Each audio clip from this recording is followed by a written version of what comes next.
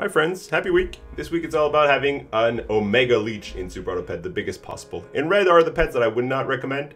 Uh, as usual, same as food. Yellow is pretty good, uh, definitely worth a pick, but maybe not invest too much in it. And green is amazing, purple even better. Purple is the god combo, go for that one. Here you see the leech in effect. Put always behind a camel, get the extra leech. You can also work with the Triceratops. Here you want to buy the crow, sell the crow, buy the zebra, sell the zebra, get the free buffs, get the free chocolate, uh, get really strong with that. And this week is amazing. Once you're comfortable with the combo, you can do some amazing stuff, even have an empty spot. Uh, duck in the back here to do the achievements. If ever you're into achievement hunting, we did a few of that this week. And we're gonna uh, end the video on a, a few screenshot of other teams that work.